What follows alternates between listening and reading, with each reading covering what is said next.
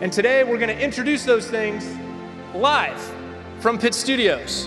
Welcome live inside Pitt Studios. I am Pat Bostick, joined by my broadcast partner on the radio, Larry Richert. I love the fact that the studio is a destination point here in the Pete where people can come and see all the exciting programming you have planned for the future.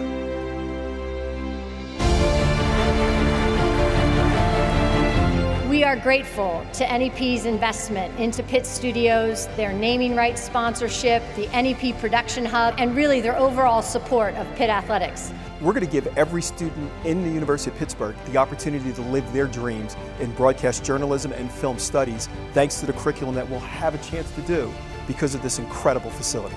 We also have all the equipment you could possibly want as a student who wants to go into broadcasting. You don't have to leave Pittsburgh anymore.